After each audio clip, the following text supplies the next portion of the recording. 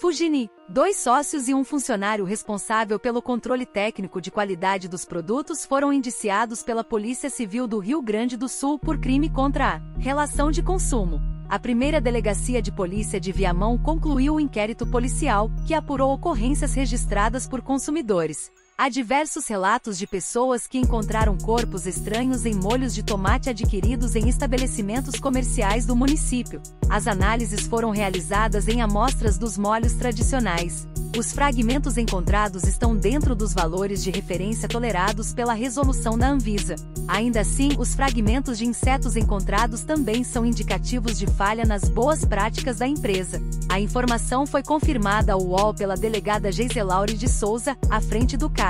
A Polícia Civil também informou que foram analisadas as amostras de conservas trazidas pelas vítimas. De acordo com o laudo pericial, o exame histopatológico indicou que as amostras dos molhos apresentados apresentavam estruturas fúngicas segmentadas, além esporos, além fragmentos ovos parasitas. Os especialistas esclareceram que possivelmente as colônias fungos são provenientes de contaminação e que o consumo alimentos contaminados por fungos não é adequado. A contaminação pode estar associada a bactérias, além de produzir toxinas prejudiciais à saúde, desencadeando ou agravando quadros alérgicos. Segundo o delegado, há relatos de casos semelhantes em várias cidades do estado. A UOL Fugini disse não ter recebido notificação da primeira delegacia de Viamão. A empresa esclareceu ainda que à época abertura da investigação, em dezembro de 2022, amostras coletadas em diversos pontos de venda e mercados região foram encaminhadas ao órgão responsável pelas análises saúde pública.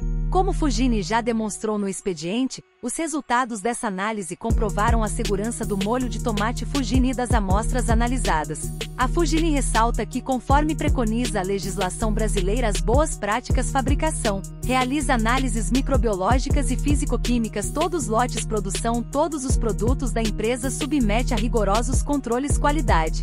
Lotes que estavam dentro dos padrões de qualidade e saíram da fábrica em perfeitas condições de consumo. Além disso, é importante destacar as reportagens que atestavam supostos fungos em determinados produtos, foram alvo de matérias jornalísticas nos últimos dias. Não possuíam exames microbiológicos, metodologia cientificamente adequada para a obtenção de possível resultado na amostra analisada.